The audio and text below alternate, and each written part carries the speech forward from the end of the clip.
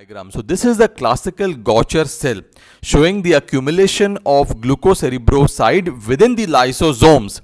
And because of this bilayered stack configuration, there is looking like as if the paper has become you know as if you have crushed a paper okay and then you have made the paper straight. So this is the classical Gaucher cell showing the crumpled tissue paper appearance as you can appreciate. It is as if you have taken a piece of paper you have crushed it and then when you open it again so how the creases are seen the crumpled tissue paper appearance. This is the classical feature and very very important exam question okay Good morning and welcome back. Myself Dr. Jibran Ahmed presents to you Simply Pathology and today we are back with another very important high yield topic, series number 6. So today we are going to understand about Gaucher's disease, a very repeatedly asked exam question, very hot exam question. So Gaucher's disease, why is it so much important to read about Gaucher's disease? Because it is the most common lysosomal storage disorder. It is a autosomal recessive disorder and it occurs because of mutation in a gene which is encoding an enzyme that is called as glucocerebrosidase. So it occurs because of the mutation in the genes encoding glucocerebrosidase. Now, what is the normal function of this enzyme glucocerebrosidase? So, this enzyme catabolizes glucocerebroside which is a ceramide and this glucocerebroside is mainly derived from the cell membrane of senescent leukocytes and RBCs. So, very importantly, this is very important to catabolize glucocerebroside. So in this particular Gaucher's disease, there is a reduced glucocerebrosidase activity. Very, very important in exam MCQ. So which enzyme activity is reduced? You should be able to answer. It is glucocerebrosidase. So reduced glucocerebrosidase activity. Normally it is catabolizing glucocerebroside. And in absence of this activity, there will be accumulation of this particular substrate that is glucocerebroside. Now that is going to lead to accumulation of glucocerebroside within the lysosomes of the mononuclear phagocyte system which is nothing but the liver, spleen, lymph node okay and also not only this glucocerebroside is going to accumulate within the lysosomes of the mononuclear phagocyte system but they will also accumulate in the central nervous system in certain subtypes of Gaucher's disease.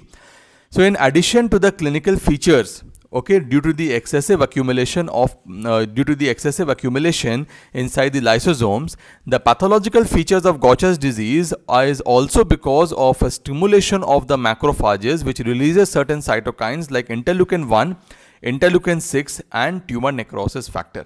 So this is a very very important additional finding that not only the clinical features occur because of excessive accumulation of glucocerebroside in the lysosomes but also it occurs because of the stimulation of macrophages and subsequent release of the cytokines interleukin 1, 6 and tumor necrosis factor.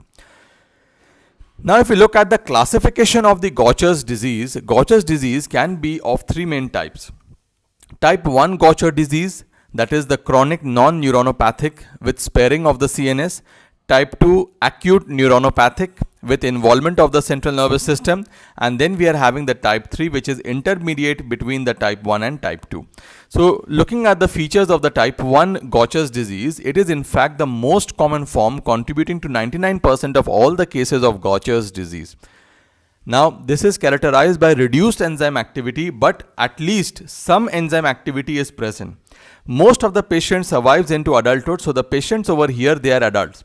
There is no involvement of the brain seen in type 1 Gaucher's disease and patients have massive splenomegaly and, and lymphadenopathy and very importantly they have a Jewish predilection. So if you see any of these uh, basic history in the question then you should think that we are dealing with the type 1 Gaucher's disease. In contrast if you look at the type 2 Gaucher's disease okay they are basically presenting in the infant um, so at a lesser age they are presenting and they have a more acute course involving these cerebrum. So we call it as the infantile acute cerebral pattern. Now in case of type 1 at least some activity was there but over here no enzyme activity is present. Over here the CNS was not involved in type 1 but in type 2 there is a progressive CNS involvement leading to early death. So survival into adulthood is not possible in type 2 and the type 2 doesn't involve the Jew. So these are the four very important points to differentiate the type 2 uh, Gaucher's disease from type 1. Now there is something called as a type 3 Gaucher's disease which is intermediate between the type 1 and type 2. Now they have all these systemic features just like the type 1 Gaucher's disease but they also have progressive CNS disease that begins in adolescence and ends into early adulthood. Okay that begins in early adolescence uh, adolescence and early adulthood. Okay very very important Coming to the morphology of Gaucher's disease, so classically we are going to appreciate the presence of distended Gaucher cells. These are nothing but the phagocytic cells. Okay, so actually the accumulation is taking place within the lysosome of the macrophages or the phagocytes, mostly in the mononuclear phagocyte system involving the spleen, liver, bone marrow and the lymph node. Now in contrast to other kinds of lysosomal storage disease, Gaucher's disease, they are rarely vacuolated. So they do not show any vacuolation of the cytoplasm. Instead, they have a characteristic appearance characterized by the presence of a fibrillary cytoplasm. So the nature of the cytoplasm is fibrillary. And this fibrillary nature of the cytoplasm gives rise to what is called as a crumpled tissue paper appearance. Very, very important MCQ for the exam. So classically, this is having a crumpled tissue paper appearance. Okay. Now the Gaucher cells, if you see, these cells, they have enlarged and eccentrically placed nucleus. So approximately they become expanded up to 100 micrometer in size and these cells are classically PAS positive. Very, very important. They are PAS positive. Under the electron microscope, if you see the, the fibrillary cytoplasm is nothing but the fibrillary nature of the cytoplasm occurs because of the elongated distended lysosomes containing the stored lipid in bilayered stack. So this lysosomes containing the lipids in the bilayered stack form is contributing to the fibrillary nature of the cytoplasm. Now let us look at this classical diagram. So this is the classical Gaucher cell showing the accumulation of glucocerebroside within the lysosomes. And because of this bilayered stack configuration, there is looking like as if the paper has become you know as if you have crushed a paper okay and then you have made the paper a straight. So this is the classical Gaucher cell showing the crumpled tissue paper appearance as you can appreciate. It is as if you have taken a piece of paper you have crushed it and then when you open it again so how the creases are seen the crumpled tissue paper appearance. This is the classical feature and very very important exam question okay now, what are the other special stains? So, we have already seen that one PAS stain is coming out positive in the Gaucher cell. Other stain which is very important to help to make the diagnosis of Gaucher cell is the presence of is the Pearl stain. The Pearl stain is basically uh, it is going to highlight the presence of iron. The oil red O stain is going to highlight the lipids and other uh, very important stain is the tartrate resistance acid phosphatase staining. So these are the three important other special stains for the Gaucher cell. Now what is the differential diagnosis of Gaucher cell? So what are other cells that look like Gaucher cells but they are not Gaucher cells in the true sense? These are called as the pseudo-Gaucher cells. So they are called as the pseudo-Gaucher cell. Now these pseudo-Gaucher cells are nothing but these are the bone marrow macrophages which are seen in conditions associated with highly proliferating tumors or uh, tumors with a very high cell or any condition associated with a high cell turnover. For example, in case of a proliferating leukemia. So proliferating leukemic cells, okay, which are dying, okay, their membrane are phagocytosed by histiocytes in the bone bone marrow. And these histiocytes containing the membranes of the dying or highly proliferating leukemic cells okay these are actually called as the pseudo Gaucher cells. So they are looking like the Gaucher cells but they are not the true Gaucher cells. So how will you differentiate a Gaucher cell from a pseudo Gaucher cell? In that situation the pearl staining of iron comes into the picture. So the Gaucher cells will show diffuse iron staining whereas no such staining will be seen in case of pseudo Gaucher cell under the electron microscopy, you are going to see the Gaucher cells are going to contain a typical tubular cytoplasmic inclusions will be present, whereas no such inclusions are present in case of pseudo-Gaucher cell. So where do we find these pseudo-Gaucher cells? So pseudo-Gaucher cells classically and most importantly they are present in 40% cases of the CML in which case they look uh, you know bluish in color and they are called as sea blue histiocytes. They can be seen in other conditions associated with high cell turnover like acute lymphoblastic leukemia, multiple myeloma, myelodysplasia and Hodgkin's disease.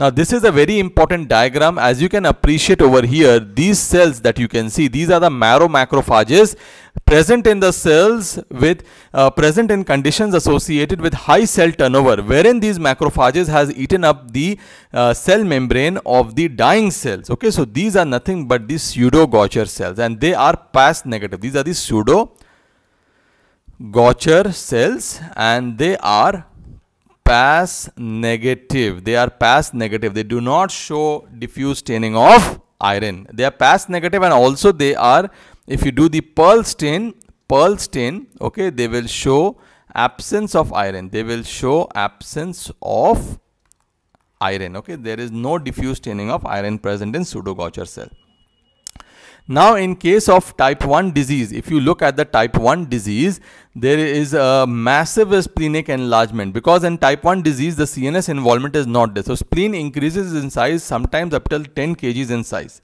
Now accumulation of the Gaucher cells in the bone marrow is seen in 70 to 100% of the cases. And this accumulation of Gaucher cell in the bone marrow causes the bone erosion and fractures as well because of the secretion of cytokines by the activated macrophages which cause causes bone resorption also. So this is the mechanism of bone erosion and fracture in type 1 Gaucher's disease.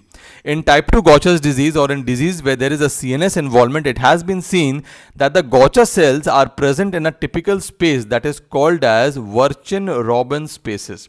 Now there is no st uh, storage of lipids inside the neurons yet the neurons are progressively destroyed. Okay, so what is the basic cause uh, for the same? Can anyone tell me? So basically over here, uh, the cytokines that is released by the activated macrophages might uh, be responsible for this pathogenesis. Okay, very, very important feature. Clinically, if you look at Gaucher's disease, the type 1 Gaucher's disease, clinically they first appear in the adult life as we have already discussed before and they present with massive splenomegaly with bone marrow involvement. Pancytopenia, thrombocytopenia will be there because of the characteristic bone marrow involvement and this can also occur secondary to hypersplenism wherein the spleen is trapping the uh, all the WBCs and the RBCs leading to reduced counts.